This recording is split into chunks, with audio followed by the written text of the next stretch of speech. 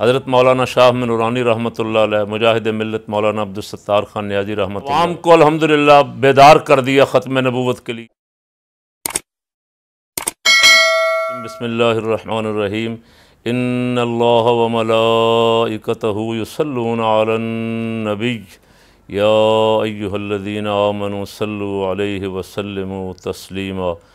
اللہم صلی علی سیدنا مولانا محمد وعلی آل سیدنا مولانا محمد واصحاب سیدنا مولانا محمد وبارک وسلم وصلی علیہ۔ آج ستمبر کا آغاز ہو رہا ہے اور ستمبر کا مہینہ پاکستان کی بلکہ اسلام کی تاریخ میں اس لیے بڑا اہم ہے کہ الحمدللہ سات ستمبر کو قومی اسمبلی میں قائد ملت اسلامی حضرت مولانا شاہ من نورانی رحمۃ اللہ علیہ کی جو قرارداد آپ نے تیس جون انیس سو چوہتر کو تمام اپوزیشن کی طرف سے پیش کی تھی، وہ منظور ہوئی اور اس وقت کے وزیر اعظم جناب ذوالفقار علی بھٹو نے اعلان کیا کہ پاکستان میں قادیانیوں کو اقلیت قرار دے دیا گیا۔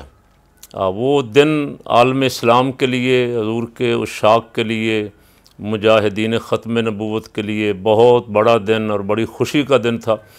اس لیے کہ مسلمان قادیانیوں کے ظلم و ستم سہتے آ رہے تھے۔ جب سے مرزے نے دعویٰ کیا تھا، اس وقت تو انگریز تھا، انگریز کی سرپرستیوں سے حاصل تھی۔ اب بعد میں جب پاکستان بنا تو اس وقت بھی قادیانی اہم عہدوں پہ سر ظفر اللہ خان، وزیر خارجہ بنا دیا گیا۔ اور بڑے بڑے اہم عہدوں پہ قادیانی بیٹھے ہوئے تھے۔ تو جو مسلمان ان کے خلاف کوئی بات کرتا تھا، اس کے خلاف مقدمات قائم کرتے تھے، زیادتی کرتے تھے، ظلم کرتے تھے، اور مسلمانوں کی حمایت کرنے والا کوئی قائد آگے نہیں تھا۔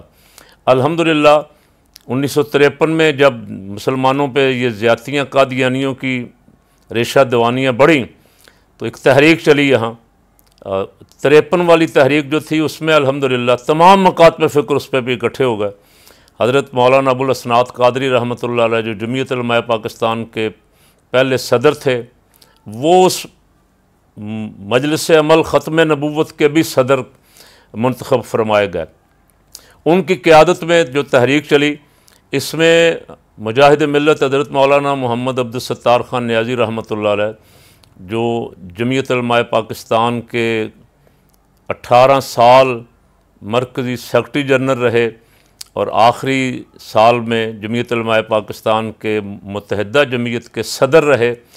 ان کا بڑا مجاہدانہ کردار تھا اور ان کو اسی اس کی سزا کے طور پہ ختم نبوت کے مسئلے کی پاداش میں پھانسی کی سزا بھی سنائی گئی۔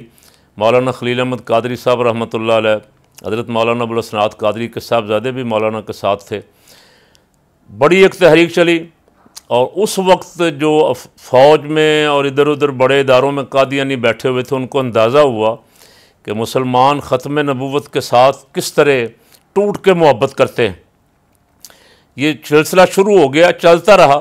علماء حق تو جو اعلیٰ، حضرت عظیم البرکت، حضرت مولانا شاہ احمد رضا خان، فاضل بریلوی، نور اللہ مرکدو سے لے کے حضرت تاجدار گولڑا پیر میر علی شاہ صاحب رحمۃ اللہ علیہ، حضرت محدث جماعت علی پوری رحمۃ اللہ علیہ اور اکابر علماء جو تھے وہ تو پہلے دن سے اس کے کفر پہ متفق تھے اور اس کے خلاف میدان میں بھی تھے، لیکن سرکاری سطح پہ اسے جب تک کافر قرار نہیں دیا جاتا، اس وقت تک لوگوں کے لیے بہت بڑے مسئلے مسائل تھے۔ الحمدللہ یہ تریپن کی تحریک کے بعد یہاں سلسلہ شروع ہو گیا اور چوہتر آ گیا۔ چوہتر میں ایک واقعہ ہوا ربوہ اسٹیشن پہ، کچھ طلباء جا رہے تھے اور ان کو انہوں نے ختم نبوت کے نعرے لگائے۔ قادیانیوں نے ان پہ تشدد کیا۔ بات پورے ملک میں جنگل کی آگ کی طرح پھیل گئی اور ان کے واپس آنے تک یہ عوام باہر نکل کھڑے ہوئے سڑکوں پہ آ گئے۔ تحریک شروع ہو گئی۔ تو الحمدللہ اس تحریک میں بھی جمعیت علماء پاکستان کو اللہ نے یہ شرف بخشا کہ جمعیت علماء پاکستان کی قیادت حضرت مولانا شاہ من نورانی رحمۃ اللہ علیہ، مجاہد ملت مولانا عبدالستار خان نیازی رحمۃ اللہ علیہ غزالی زماں حضرت علامہ سید احمد سید کاظمی رحمۃ اللہ علیہ، سارے اکابرین اس وقت موجود تھے اور میدان عمل میں تھے۔ انہوں نے پورے ملک کے طول و عرض میں جلسے کیے، جلوس نکالے، پروگرام کیے اور عوام کو الحمدللہ بیدار کر دیا ختم نبوت کے لیے۔ اور پھر جب یہ قرارداد پیش ہوئی قومی اسمبلی میں تیس جون کو، تو اندر قرارداد پہ بحث مباحثہ ہو رہا تھا۔ بار پورے ملک میں ایک تحریک چل رہی تھی۔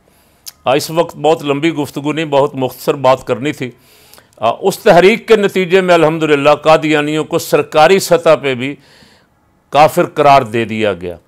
پاکستان کے ان کو کافر قرار دینے سے پوری دنیا کے مسلمانوں کی آنکھیں کھل گئیں کہ یہ تو ہمیں دھوکہ دے رہے تھے، ہم مسلمان ہیں، لیکن یہ تو کافر ہیں، یہ تو سرکار صلی اللہ علیہ وسلم کی ختم نبوت کے منکر ہیں۔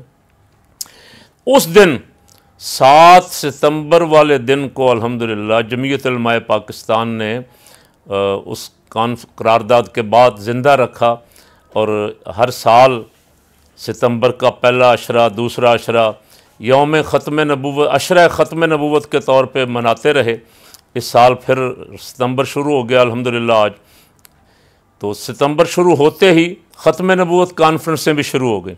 پورے ملک کے طول و عرض میں اور میں آج کی یہ گفتگو کر بھی اس لیے رہا ہوں تاکہ سننے والوں تک میرا میسج خاص کر کے علماء تک اور کارکنوں تک پہنچ جائے کہ ختم نبوت کے اس دن کو شان و شوکت کے ساتھ منائیں، عقیدت و احترام کے ساتھ منائیں، اسی جذبے کے ساتھ منائیں جس جذبے کے ساتھ تریپن میں مجاہد نکلے تھے، جس جذبے کے ساتھ چوہتر کی ختم نبوت تحریک میں مجاہدین آئے تھے سڑکوں پہ، روڈوں پہ، قومی اسمبلی میں اور جلسوں، جلوسوں میں۔ اور اس کے ساتھ منائیں گے تو اس کا فائدہ یہ ہوگا الحمدللہ کہ قادیانیوں کی ریشہ دوانیاں جو مسلسل جاری ہیں یہاں ملک میں بھی، بیرون ملک بھی پاکستان کے خلاف سازشیں کرتے رہتے ہیں، پاکستان کی شکایتیں کرتے رہتے ہیں۔ کبھی ٹرمپ کو، کبھی جو بائیڈن کو، کبھی برطانیہ کے وزیر اعظم کو، کبھی جرمنی، کبھی فرانس اور کوئی نہ کوئی شرارت بھی کرتے رہتے ہیں مسلمانوں میں افطراک اور انتشار پیدا کرنے کے لیے اور اشتعال پیدا کرنے کے لیے۔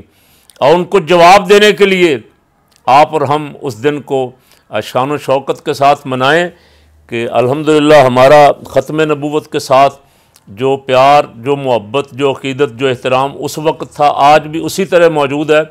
جس طرح چند سال پہلے نواز شریف نے علم میں ترمیم کرنے کی کوشش کی تو مجاہد کھڑے ہو گئے۔